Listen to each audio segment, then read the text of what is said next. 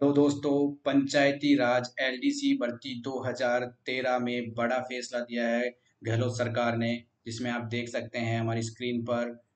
इसमें चार हज़ार अभ्यर्थियों को नियमित नियुक्ति देने का बड़ा ऐलान किया गया है।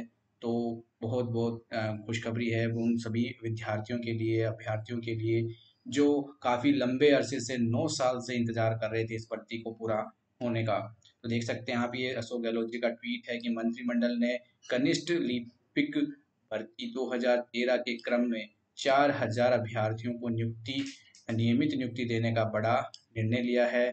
जिला परिषदों द्वारा राजस्थान पंचायती राज के प्रावधानों के अनुसार भर्ती आयोजित की गई थी। वर्ष 2013 में वर्ष 2017 में बंद भर्ती प्रक्रिया को अब फिर से शुरू किया जा रहा है। नेक्स्ट आप देख सकते हैं, इसमें लिखा है, अब 2013 की वरीयता सूची के अनुसार प्रतीक्षा सूची आपकी जारी की जाएगी, जो वेटिंग लिस्ट है। तो अब आप सोचेंगे कि कैसे जारी की जारी की जाएगी तो 2013 की जो वेटिंग लिस्ट है उन्हीं को जारी किया जाएगा। पदों को भरने की कार्यवाही के लिए प्रक्रिया निर्धारित करने एवं वांछित शीतलन के प्रस्ताव का अनुमान अनुमोदन बैठक में किया गया है। नेक्स्ट इन्होंने ट्वीट बताया है कि मंत्रिमंडल ने आर्थिक रूप से कमज़ोर ईडब्ल्यूएस के अभ्यर्थियों को राहत प्रदान की है।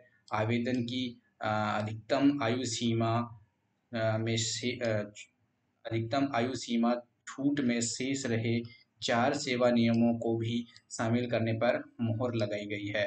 इससे निर्धारित आयु पार आयु सीमा पार कर चुके ईडब्ल्यूएस अभ्यर्थियों को आयु सीमा का लाभ भी मिलेगा।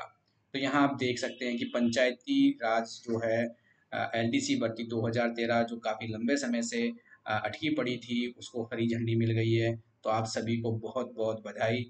और यदि आपको हमारा वीडियो पसंद आया तो वीडियो को लाइक कर दीजिए, शेयर कर दीजिए और इसी तरीके की खबरें पाने के लिए, वीडियो पाने के लिए आप हमारे चैनल को सब्सक्राइब कर सकते हैं ताकि जब से जल्द से जल्द आपको वीडियो हमारा मिल सके।